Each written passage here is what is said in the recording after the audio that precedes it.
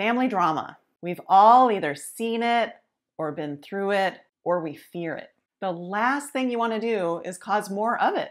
But that's what can happen when you don't have an effective estate plan in place. Stress and grief of losing a loved one causes wear and tear on your family. And when it comes to dividing assets up, fights can break out. And I've seen those fights have a lasting effect on family relationships.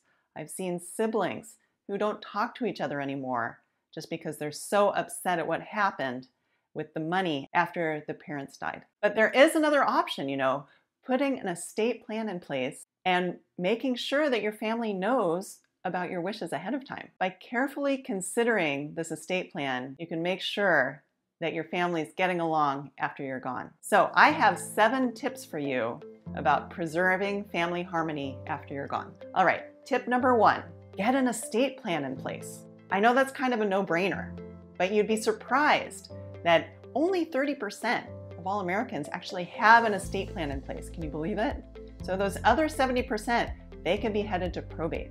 And let me tell you, probate is a horrible, time consuming process. And the longer a process takes, the more opportunities there are to, to start fighting between the kids. So I have a video called Don't Let What Happened to Prince's Family Happen to You. I encourage you to watch that video after this one. Enough said. Okay, tip number two timing is everything. Some of your children might need to receive their inheritance right away, but if you've left a mess, then that can take a long time to sort out and for your kids to receive their inheritance, and they can get pretty upset through the process. So I encourage you to make sure every few years to make sure that your trust is properly funded, that everything's entitled in the trust or the beneficiaries are properly updated because that process when you're gone of trying to get things into the trust can take a long time and that can make people upset. Okay, tip number three. I think this one's one of the most important ones. Plan for where your family is actually at, not where you want them to be. So, what do I mean by this? Well, I talk with a lot of families who they know that their kids don't really get along, but they figure, hey, if I name my kids as co trustees, then they'll have to get along. Aren't I clever? I figured this out.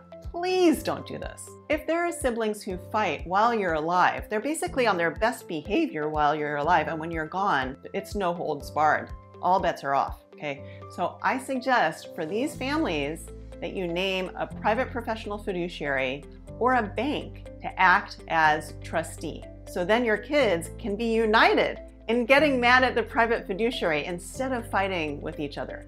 I have a video on how to choose a successor trustee for your trust, and I talk about all the different options. So you don't just have to name a family member, or you know, don't just name the oldest son just because you know you figure that he should be the most responsible person. Name the person who actually is most responsible and who is respected by the rest of the family, or name a private professional fiduciary or a bank or trust company. Okay, tip number four don't make any promises you can't keep in your estate plan. So, one thing I've seen that really leads to fights is when you have one person, often part of a married couple, who might say to a family member, Hey, I'm promising to give you this when I die, but it doesn't happen. All right, and I have two examples of this. In one example, there was a husband who promised his niece and nephew that they would get money from the trust upon his death, whether he's the first or second to die.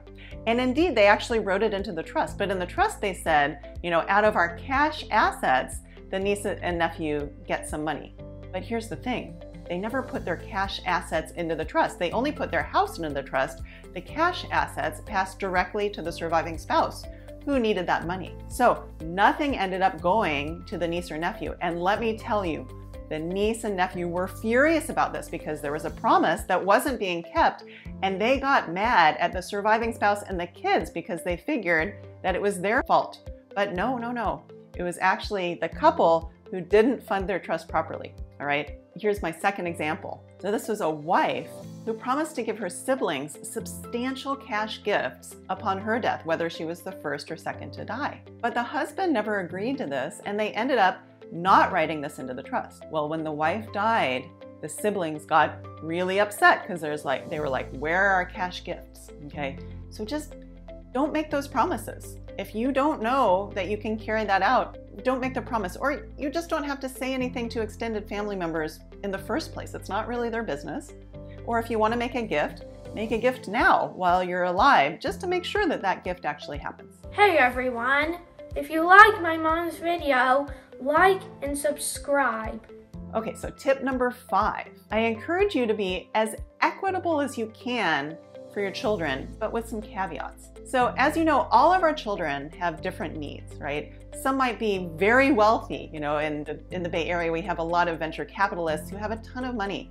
But then we also have some children who might be doing noble work as a teacher or a firefighter or a social worker, and they're just not making that much money. Or you might have a child who can't work at all. So, how do you treat those kids equally? I know for my boys, they are so into being treated equally. If one of them gets a gift or gets some attention, the other one wants that as well. So, however, you can keep things equal, I encourage you to do so. If one child is receiving inheritance into a trust, then you might want to consider leaving trusts for the other children.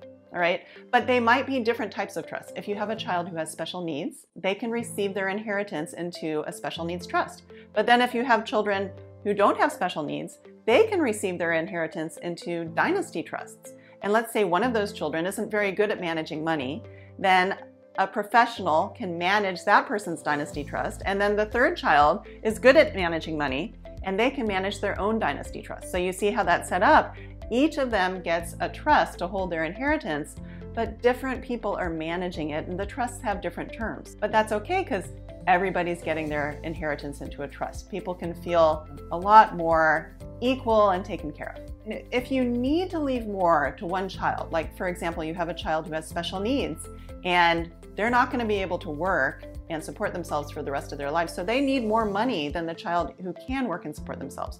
Well, what you might want to do is leave things equally to the children in the trust. But then let's say you have a big retirement account that you can leave just to the disabled child's special needs trust. So that's one way of leaving more to the disabled child where the trust still looks equal.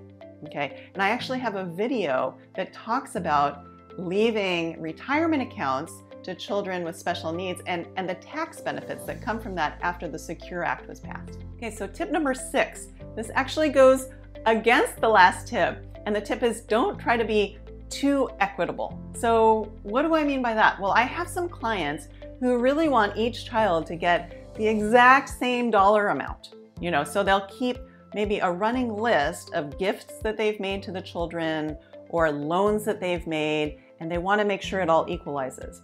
But when you get too much into the weeds, if you forget to write one down, write down a loan or a gift, and then you die, then there could be a lot of fighting over was that a loan? Was that a gift? Was that supposed to equalize the, the car that somebody received from someone else? I mean, we understand as children that our parents are, are setting us up for success in however we need to be. You know, I think about me and my brother, you know, he went to private school for kindergarten through 12th grade. I was in public school. Cost a lot more for private school, but I don't begrudge him that. That's what was appropriate for him where he was living, what he needed. And for me, public school was okay, except that it didn't have a symphony orchestra at the public school. I'm still a little mad about that, right? But that's okay. They spent more on him. But, you know, during your lifetime, you can do whatever you want. You can spend, you know, however you want, okay? So please don't feel like you need to equalize exactly because that, I've seen that really lead to a lot of fights. So tip number seven, my final tip is to have a family meeting. I found it to be very helpful when you bring the kids together, or whichever kids have the capacity to attend such a meeting, and explain to them where things are going, how it's being divided up. If you have an unequal distribution, you can explain why so that they don't feel like you don't love them or you're not taking care of them, but they can understand your reasoning.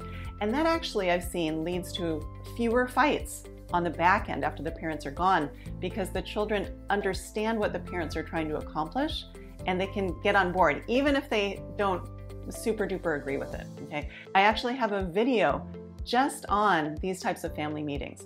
I love leading these types of family meetings and, and I encourage many of my clients to do these. So hopefully this video has given you some ideas on how to update your estate plan to make sure that everybody gets along when you're gone and there's no family drama.